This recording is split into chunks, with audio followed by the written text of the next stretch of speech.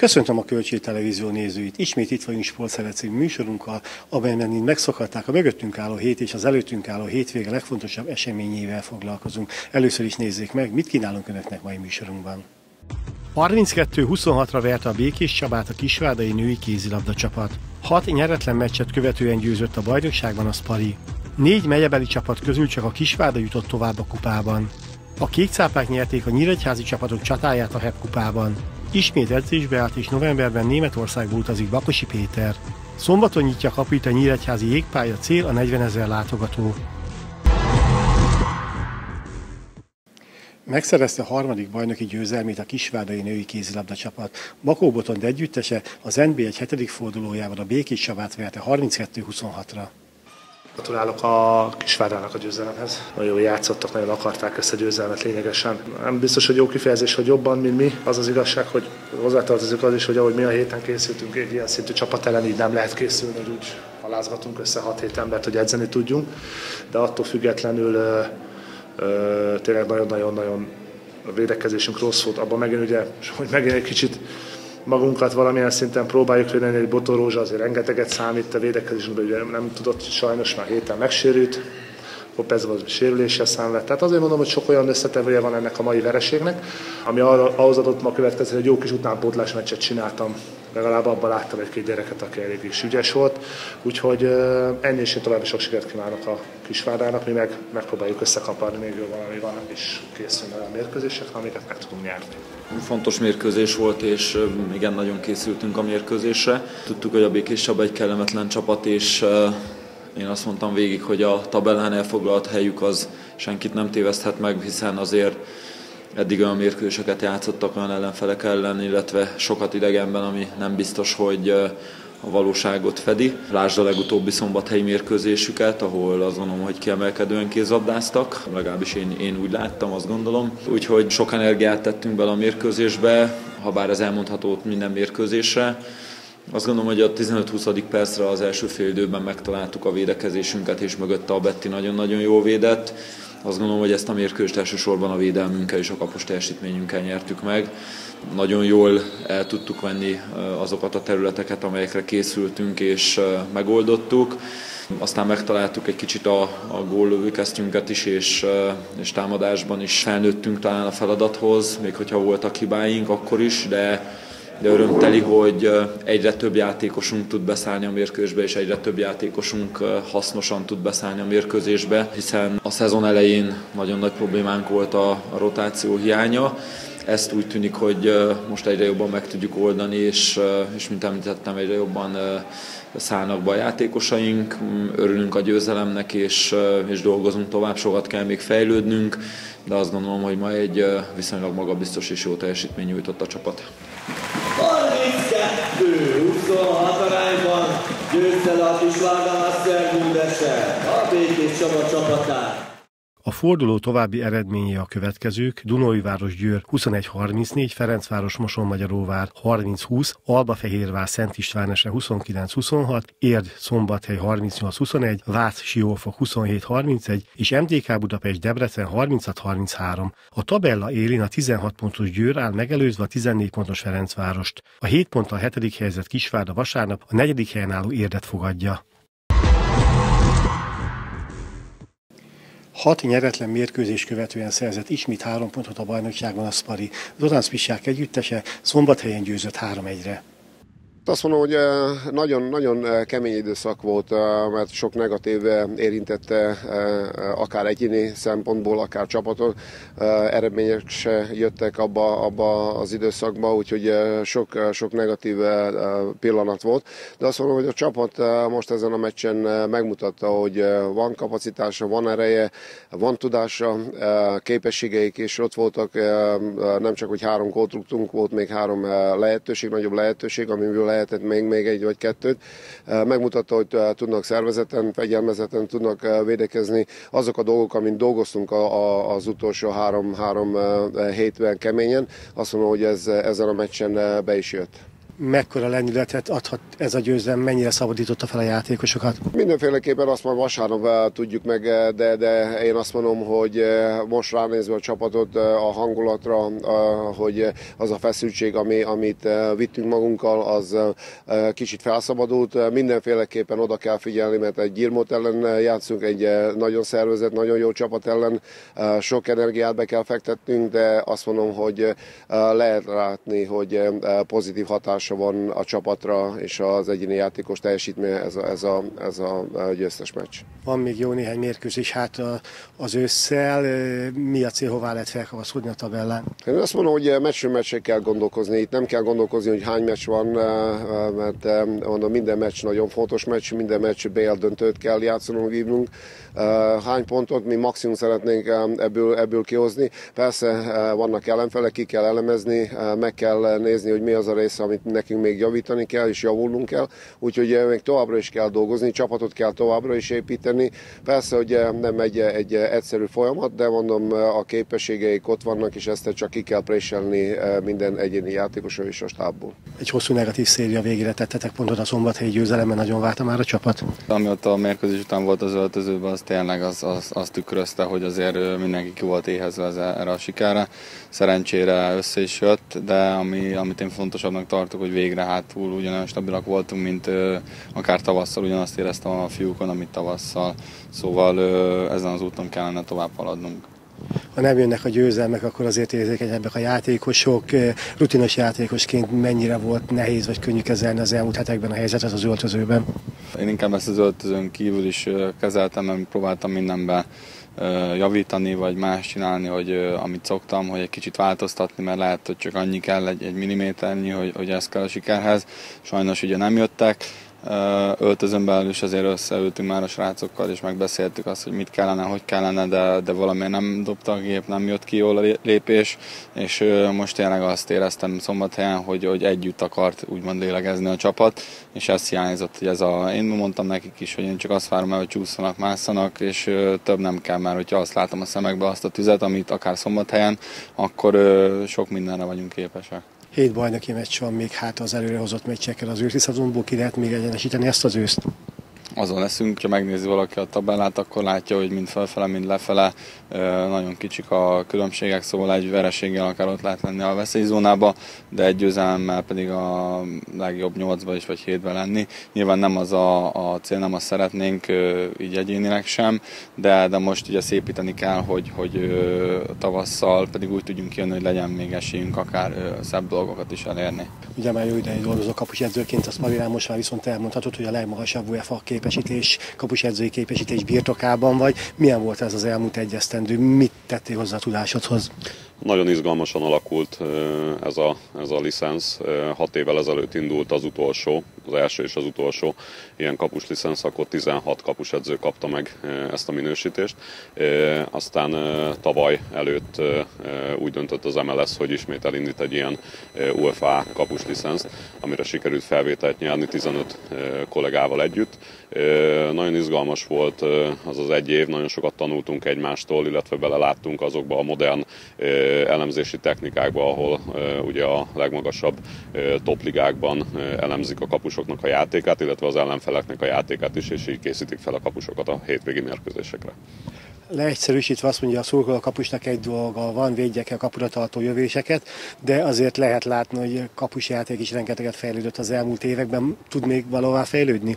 A labdarúgás az folyamatosan fejlődik. A legnagyobb fejlődésen szerintem az utóbbi 20 évben a kapusjáték ment keresztül, mert amellett, hogy ugye nyilván a, a gól megakadályozás az elsődleges szempont, most már a kapus az első támadó játékos is, aki ugye akár hosszú indításokkal, egy jól, jó kirúgással, kidobással meg tudja szervezni a, a, a csapat a támadójátékát, úgyhogy nagyon sokat fejlődött a, a kapusjáték, van is még benne, hogy a szabálymódosítások mindig nehezítik egy kicsit a kapusoknak a, a dolgát. Én, én azt vallom, és azt szerint képezzük a kapusokat akár az utánpótlásban, akár pedig a felnőtt csapatnál, hogy kettő nagyon fontos szegmense van a kapusjátéknak. Az egyik az a, az adott szituációban a helyes pozíciónak a felvétele, hogy honnan indítjuk azt a védést vagy azt a mozgást, illetve a lábbal való játék, illetve kézzel való játék nyilván a a mélységi forgatásoknál, indításoknál nagyon nagy szükség van most már ezeknek a képzésére is. Neked itt mennyire partnereid a kapusok Aszparinál? Én azt gondolom, hogy az ország egyik legjobb magyar kapusával dolgozhatok együtt a Jóval Levente személyében, aki bár egy nagyon remek pályafutás áll mögötte, és nagyon magas szinten védett, ugye a Fradiba bajnok is kupa győztes, szuperkupa győztes, de még mindig látom a, rajta, hogy, hogy tanulni, fejlődni szeretne. Nagyon sokat videó elemzünk különböző szituációkról, mérkőző szituációkról, nem csak a sajátról, hanem esetleg nemzetközi mérkőzésekről is, és nagyon nagy fejlődést látok látok több szegmensben az ő játékában. Emellett ugye két fiatal kapus van, aki pedig akár a Leventétől, akár pedig a, az említett módszerek alapján edzés teljesítményben, mérkőzés teljesítményben igen komoly kiugrást érnek el. Hátrányból fordítva kettő egyre verte az egeret a sényői futballcsapat. Az NB3 12. fordulójában lejátszott mérkőzésen a három gól mellett három kiállítás is láthattak a nézők. Tudtuk, hogy nagyon nehéz mérkőzés fog ránk várni, erre is számítottunk, amit az Eger játszott, rettentően szervezetten is jól védekeztek. Sajnos az elején egy, egy nagyon óriás egyéni hibából hátrányba kerültünk, és így még nehezebbé vált a saját dolgunk. Ezen a mérkőzésen azért az igazsághoz hozzátartozik, hogy nem is sikerült annyi gólhelyzetet kialakítanunk, viszont 2-1-nél volt egy óriási lehetőségünk, amivel lezárhattuk volna a mérkőzést, de azt mindenféleképpen megemlíteném, hogy a három kiállítás ellenére egy sportszerű mérkőzés volt az 59. percben egy gólos hátrány, ember hátrányba is kerültetek, utána kockáztatni kellett? Kockáztattunk, igen, mert ugyanúgy maradtunk három védővel. Igazából már úgy gondoltuk, hogy teljesen mindegy, hogy egy vagy két góllal fogunk kikapni. Ugye lesz egy hétközi magyar kupa mérkőzés a mezőkövesd ellen hogy álltok neki ennek a mesnek? Az egy teljesen más mérkőzés lesz, hiszen ugye egy első osztályú éllovas csapat érkezik hozzánk, aki látta őket tegnap is a Debrecen ellen. Egy rettentően jó futballt játszanak most is, nagyon egyben vannak, egy nagyon bő, jó, nagyon bő kerettel rendelkeznek. Hát az egy más mérkőzés lesz, mint említettem. Itt sényűn el vannak kényeztetve a kupa meccseket tekintve a szurkolók, hiszen nem egyes csapatokat hoztak ide, szintre azt lehet mondani, hogy évről évre. Most milyen az érdeklődés? Érdeklődés most is nagy, mivel hogy egy közeli csapat ugye a mezőköves nem túl távol van, úgyhogy reméljük, hogy megint sokan lesznek ezen a mérkőzésen is. A kollégád azt mondta, hogy ezért a győzelemért is három pontot adnak, de azért egy ilyen mérkőzés, egy ilyen győzelem mennyire erősít egy csapatot? Úgy gondolom, hogy nagyon, bár ugye a fiúktól azt kértem én is és a kollega is meccs előtt, hogy egy a lényeg, hogy a mérkőzés végén mi három pontot kapjunk, az ellenfél pedig nullát. Mondtam, hogy ezt bárhogyan abszolválhatják egy gyönyörű szép gólgazdag parádés játékkal, akár egy öngollal, hát ezzel is elégedett vagyok teljes mértékben. Ad ez a győzelem pontosabban az így kiharcolt győzelem némi nyugalmat a ősz levő meccseire? Hát igen, ma ezt is mondtam a fiúknak, hogy nagyon fontos ez a mérkőzés abból a szempontból lehet, hogy merre fog billenni az a bizonyos mérleg, és a tabella melyik felébe fogunk tartozni a végelszámolásnál, úgyhogy ez nagyon fontos győzelem volt. Ugye a meccs után mellett mondani, hogy egy abszolút közönség szórakoztató mérkőzés volt, meg volt a dramaturgia és happy end zárult. Te bent hogy élted meg a pályán? Már meccs előtt egy nehéz meccsre számítottunk, tudtuk, hogy egy jó szervezett csapattal fogunk találkozni. Egy hibából ugye gólt is kaptunk rögtön az elején, ami megnehezítette a dolgunkat, de úgy gondolom, hogy az ember hátrány az nekünk tett jót, onnantól kezdve egy új ritmust tudtunk adni a játéknak, és hál' Istennek a kis lehetőségeinket is gólra tudtuk váltani.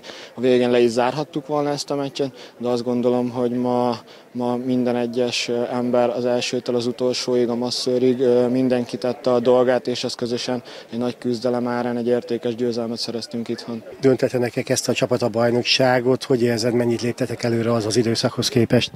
Azt gondolom, hogy akkor is a meccseken megvoltak a lehetőségeink, jól is játszottunk, rengeteg lehetőségünk volt, amiket nem tudtunk góra váltani az elején. Aztán jött egy olyan széria, amikor ezt meg sikerült megszakítani, és hál' Istennek most minden adódó lehetőségnek a nagy százalékát tudjuk értékesíteni, és azt gondolom, hogy a csapat ebben nagyot lépett előre, és hogyha ugyanilyen alázattal és koncentrációval fogjuk tenni a dolgunkat, akkor azt gondolom, hogy ez egy nagyon tehetséges és kreatív csapat, akiben mindig benne van a veszély bárki ellen ebbe az osztályba, és hogyha így, így fog továbbra is tartani a hozzáállásunk, és a, a szerencse is úgy mellénk áll, ahogy a mostani időszakban, akkor azt gondolom, hogy egy szép bajnokságnak nézünk elébe. Te játszottál magasabb osztályban, szerdán egy magasabb osztálybeli csapat érkezik a mezőköves, ráadásul az NB1 egyik ilyen csapatáról van szó. Mire lehet, hogy egy ilyen mérkőzés? Azt tudjuk, hogy a mezőköves most az NB1-ben is egy élcsapatnak számít, rendkívül jó formában vannak, tudjuk, hogy nagyon jó a keretük, nem csak az a standard játékosok, akik játszanak a bajnokságban, hanem gondolok olyan játékosokra is, akik a kispadon kevesebb lehetőséget kapnak. Most biztos, hogy ők meg fogják kapni a lehetőséget, és fűteni fogja őket a vágy, hogy bizonyítsanak a szakmai stábnak. Nekünk ez egy úgymond tavaly sikerült egy NB1-es csapatot hoznunk a Ferencváros szempontjából, most egy mezőköveset sikerült idehozni egy élcsapatot. Azt gondolom, hogy nekünk egy felszabadult játékot kell játszanunk, élveznünk kell azt, hogy egy ilyen csapat ellen játszhatunk. Reméljük, hogy minél többen kilátogatnak a meccsre, és egy élvezhető jó meccset tudunk játszani. Megpróbáljuk megnehezíteni a dolgukat, és meglátjuk, hogy mi lesz belőle. A Sényű végül alaposan megnehezítette a mezőköves dolgát, az NB1-es csapat 2-1-es győzelemmel jutott a kupa következő körébe. Én mindenféleképpen elégedett vagyok, hiszen egy kultúrát focit mutattunk be, néha még játszottunk is, és szép támadásokat vezettünk, szereztünk egy gólt, vezettünk egy nullára, szereztünk még egy gólt, amit nem adtak meg.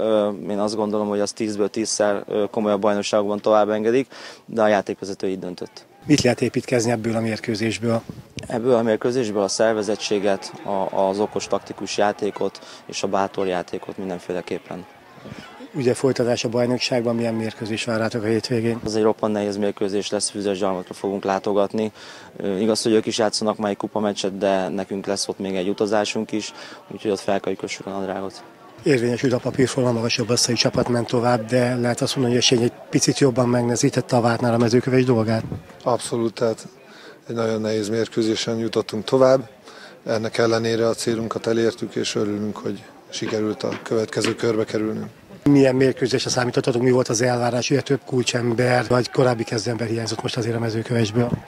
Egységes keretünk van, úgyhogy mindenkinek megvan benne a, a szerepe és a lehetősége, úgyhogy most egy ilyen csapattal vettük fel a harcot, és azt gondolom, hogy azért megérdemelten jutottunk tovább. Természetesen nem volt könnyű egy, egy ilyen egymérkőzéses kupa, mérkőző, kupa meccsen ugye idegenbe szerepelni, amiből ugye győztesen kellett kijönnünk, de még egyszer mondom, nagyon örülünk annak, hogy a következő körbe tudtunk kerülni. Talán lehet azt mondani, hogy a szezon eh, meglepés csapat eddig az NB1-ben mezőköves, milyen folytatásra lesz számítani még ősszel? Vannak még mérkőzések, úgyhogy eh, arra készülünk, és mindig a következőt próbáljuk megoldani. Amikor a legutóbbi bajnok után beszéltünk, azt mondtad, hogy felszabadult játékot, jó meccset vársz a mezőkövegy, de ennél talán még egy picit többet is adtatok. Ezt az edzői stáb is kérte tőlünk, hogy minél felszabadultan élvezzük ki, hogy egy ilyen csapat ellen játszhatunk.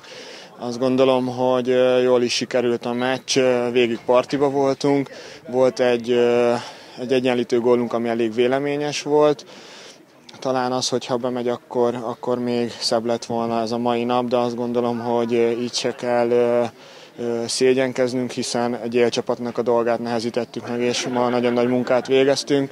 Megyünk tovább, és igyekszünk a hétvégén is olyan teljesítményt nyújtani, ami után eredményesek tudunk lenni.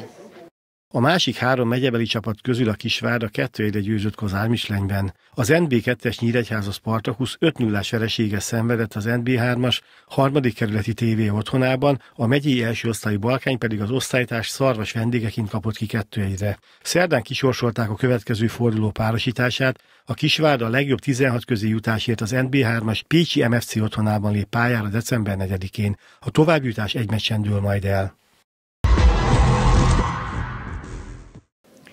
Tovább jutott a Hepkupában a Hübnél Nyíregyháza Blue Sharks. A kék cápák a Sunshine otthonában léptek pályára, és 102-77-re megnyerték a találkozót.